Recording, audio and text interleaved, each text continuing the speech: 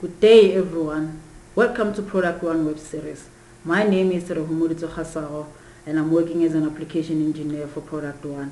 Today I'm going to show you a demonstration about what is new in uh, Creo 5 and I will be focusing on two extensions by the name of uh, Advanced Framework extension. This is an extension that you will normally use uh, for your framework design and the second part of uh, the demonstration will be Intelligent Fasteners extension.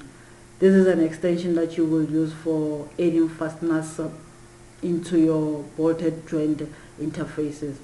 And uh, the licensing of uh, these extensions is if you have a license for advanced framework, you are able to use the full capability of uh, intelligent fasteners extension with this uh, extension.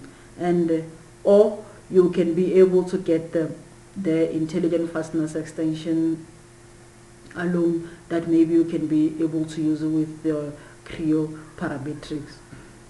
Going into the demonstration, the first part I will show you the capability in uh, advanced framework.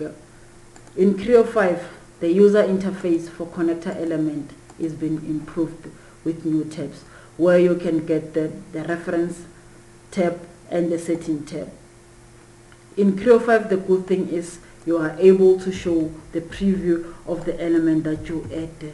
Like for example, if uh, I want to check if the dimensioning of my element uh, satisfy the, my design, I can be able to do the preview without uh, ending the activity of adding the new connector element.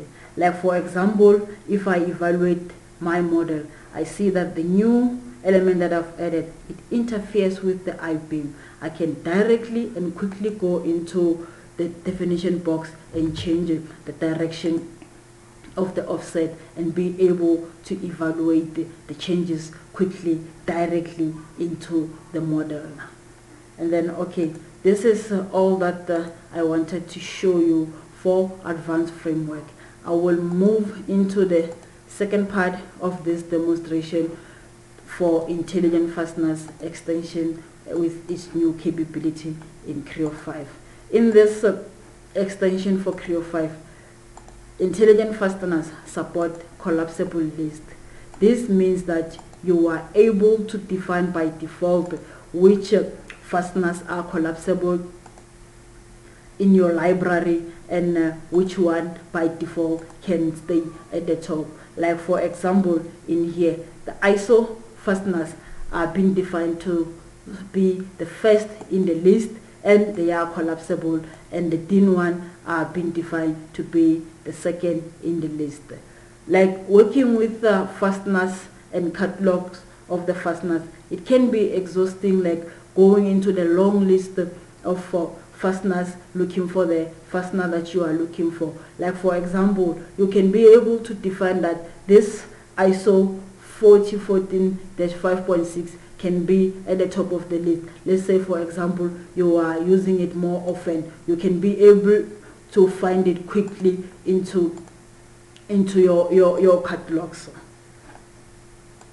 And then you are able to expedite the process of adding fasteners into your assembly.